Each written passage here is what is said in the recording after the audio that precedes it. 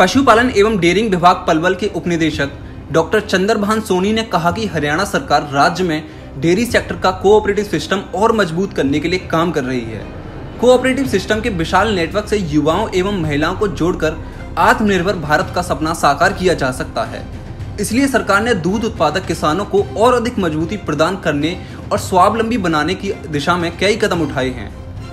उन्होंने बताया कि प्रति व्यक्ति दूध की उपलब्धता ने हरियाणा ने पड़ोसी राज्य पंजाब को पछाड़ दिया है। हरियाणा सरकार ने छोटे किसानों और ग्रामीण क्षेत्र के युवाओं के लिए स्वयं का काम शुरू करने के लिए हाईटेक और मिनी डेयरी स्कीम चलाई है।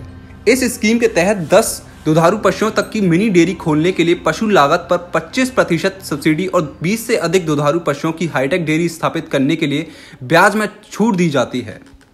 पलवल ज़िले में डेयरी फ़ार्मिंग को बढ़ावा देने के लिए सरकार ने कुछ एक योजनाएँ चलाई हुई है, जो इस डिस्ट्रिक्ट में भी हम लागू कर रहे हैं। इसमें अलग अलग तरह की योजनाएँ हैं, जैसे एस सी स्कीम है हमारी, जो अनुसूचित जाति और के लोगों के लिए है। बहुत अच्छी अच्छी स्कीम्स इसमें है।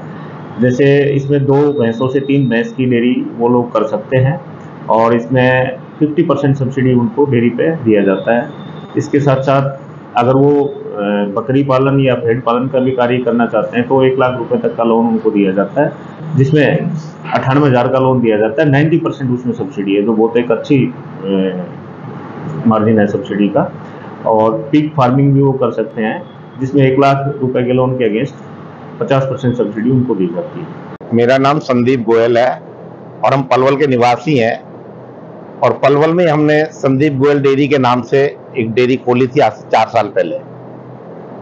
और अब इसके हमारे पास ज़्यादातर एच एफ़ गाय हैं, साहिवाल भी हैं और गिर गाय भी है। हम यहीं की ब्रीड बनाते हैं, यहीं की तैयार कर रहे हैं ब्रीडों को, गायों की।